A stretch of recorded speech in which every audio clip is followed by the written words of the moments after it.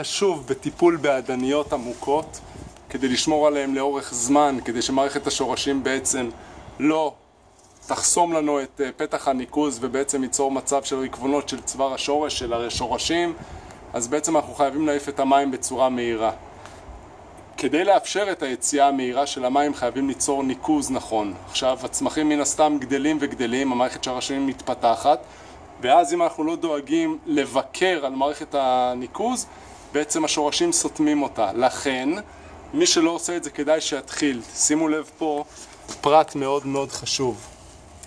כאן יש לנו גליל. הגליל הזה בעצם הוא גליל הגנה על מערכת הניקוז שלנו. כשאני פותח אותו, אני דואג לראות שכולו סטרילי מבפנים, בעצם שאין שום שורש בפנים. אם יש שורש, אני מכניס את היד, מנקה, דואג תמיד שהפתח הזה יהיה נקי. כדי להבטיח בעצם שהמערכת שלנו תעבוד כמו שצריך, שהאדנית תיראה טוב כל הזמן, אנחנו חייבים להעיף את עודפי המים. זה הכלל הכי חשוב. כדי לא להגיע למצב בכלל שהאדנית הופכת לביצה, בעצם שהמים לא יוצאים, חייבים פעם בחודש, פעם בחודשיים לפתוח את פתח, ה...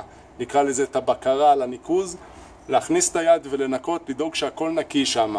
זה מה שמבטיח לנו בעצם שהאדנית תחזיק מעמד לאורך זמן.